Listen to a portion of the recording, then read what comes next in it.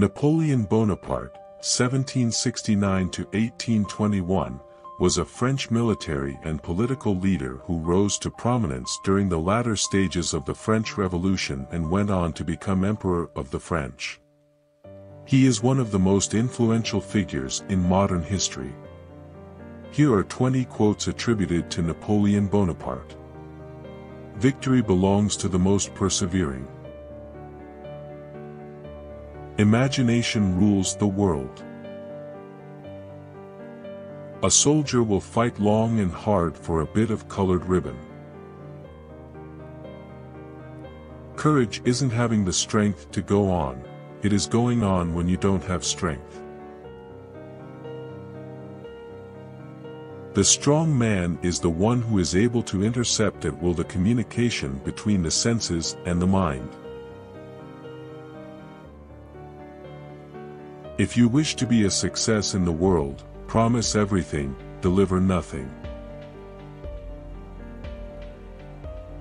In politics, stupidity is not a handicap. The battlefield is a scene of constant chaos. The winner will be the one who controls that chaos, both his own and the enemy's. The word impossible is not in my dictionary. The greatest general is he who makes the fewest mistakes. Never interrupt your enemy when he is making a mistake. In war, the moral is to the physical as three is to one. The best way to keep one's word is not to give it. Religion is what keeps the poor from murdering the rich. The world suffers a lot. Not because of the violence of bad people, but because of the silence of good people. If you want a thing done well, do it yourself.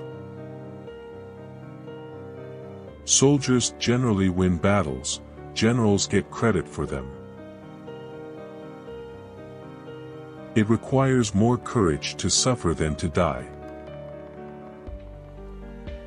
The extent of your consciousness is limited only by your ability to love and to embrace with your love the space around you, and all it contains.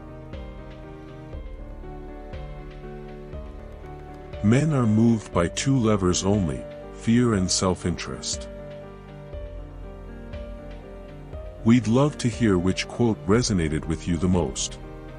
Share your thoughts in the comments section below, and make sure to subscribe and hit the notification bell to stay updated with our upcoming videos.